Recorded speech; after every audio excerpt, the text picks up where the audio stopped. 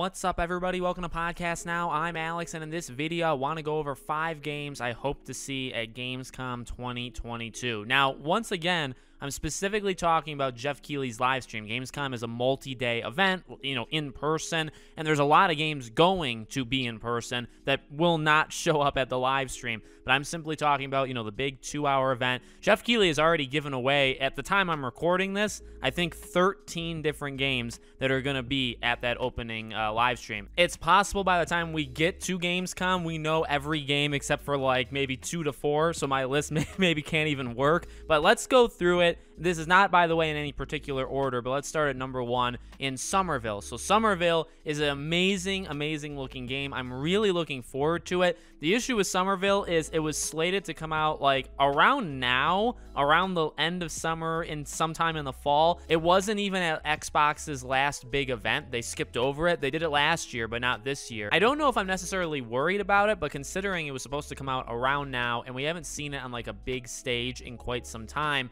I'm hoping Geoff Keighley would do it. I, I, just feel, you know, games at this point that have unknown release dates make sense for him to do. You look at like the Outlast He confirmed is going to be there. That's a game that is supposed to come out in the fall, but doesn't have a date. So you would expect, obviously, he would do something with that. Number two is going to be Horizon Forbidden West DLC. So this one's going a little bit out of, you know, left field. I think this makes sense. Um, obviously, Zero Dawn had the Frozen Wilds DLC that did really, really well. And also, in terms of story, like, really set up the second game. Almost more than the ending of, you know, the game, the, the base game. And, you know, it's been uh, six months at this point since Horizon Forbidden West came out. I don't know if it would come out this year. I kind of find that to be doubtful, but you know, Geoff Keighley, I believe, last Gamescom gave the date for Horizon Forbidden West and showed a new kind of small length trailer. So it's not like Sony won't let it happen because they have let it happen in the past. I could see it. I could see I could see DLC, I guess, for Horizon in general, and then I think it kind of just makes sense that Geoff Keighley would do something like it. And now let's go back to back. Next one is Elden Ring DLC. Again, kind of a mix of what I want, because I do, I think Elden Ring DLC would actually be really cool, plus what makes sense. And what makes sense with Geoff Keighley, you know, he took a lot of pride in being like the spearhead for Elden Ring, you know, kind of bringing it back out, um, uh, you know, last year and giving that release date and all that stuff. I mean, it was a big deal to him. I, I wouldn't be shocked. Well, number one, I wouldn't be shocked to get DLC for Elden Ring because when you sell almost 17 million units in like three, three and a half months, you know, you, I, I, think you should probably, it's a business. Even if you shouldn't do DLC, you probably would anyway. I think that makes sense. And then again, where better of a place would it be to be here? Same as Horizon, it's also six months from release, right? They released the same month. So it just kind of makes sense for both of these games. Like if you were going to do DLC, announcing it, even though if it wouldn't release, say, even for another half year, say released around the one year anniversary of both of these games, if you announced it six months after, that's probably enough time to get some sort of concepts together to show something. Uh, it makes sense on a big stage. Gamescom is a very big stage. Geoff Keighley is a big personality, so that also makes sense. Number four is Jedi Survivor, Star Wars Jedi Survivor. Uh, I really, this is probably, well, this one and maybe the next one are probably my top two in what I would actually like want to see. Now, we know things like the new Tales from the Borderlands is most likely there. Dead Island 2 is most likely there. The Devil in Me, they actually said they're going to Gamescom. They got to give the date, so we know that's good. So there are plenty of games that I'm definitely interested in, but in terms of games that are like mystery marks, which, you know, Jedi Survivor would be,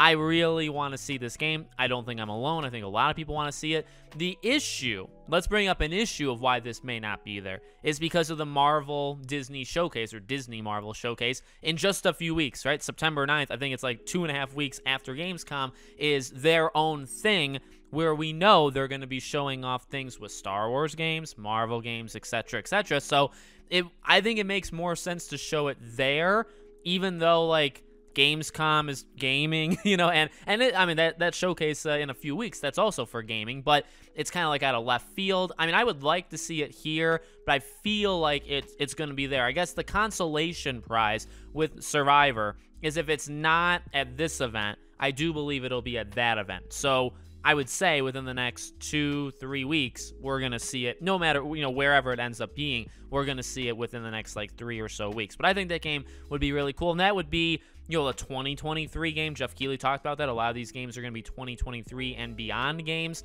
Beyond is interesting, isn't it? Because what, you know, 2024 and onward is that GTA. We'll talk about that in future videos. Last one, though, is Wolf Among Us 2. It's been, I believe, since February. February is when we saw the trailer, which looked, you know, incredible and it's where we also learned that you know the game's not coming out this year. Um, we didn't really know for sure if it ever was going to come out this year, but they said that next year was when the game was going to come out. So you know, I I put this as semi likely. I mean, you have the connection with Geoff in that he revealed The Wolf Among Us 2 back at the Game Awards several years ago. So you have past connection.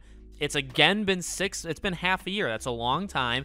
And also, you know, 2023, if it's in the first half, which we don't know, but if it is, that's a pretty solid, you know, argument to be made that again, if Geoff is talking about games that are releasing, say, over the next two years, that fits right in, and I feel like you could do something with that show. Another, uh, I don't know if you show like another trailer because you just did. Maybe we should, see gameplay at this point, but maybe it's a trailer, and maybe you give a release date. Depends on obviously when it comes out. But I, I, I think this one is almost like a, a dark horse candidate where I, I could see it not being there, but it also kind of makes sense that it would. So let me know what you guys think. Again, there are plenty of games going. There's games that Geoff has confirmed. There's also games that we know are going to be there that he hasn't confirmed yet. So I'm going to do one final video on this. Um, I believe maybe the day before where I predict, you know, kind of we run through everything with Gamescom. So that should be fun. I'm also co-streaming it. So if you guys want to watch it live with me, come back on Tuesday and we'll watch it all together. So let me know what you think. Make sure you guys are subscribed, bell icon turned on,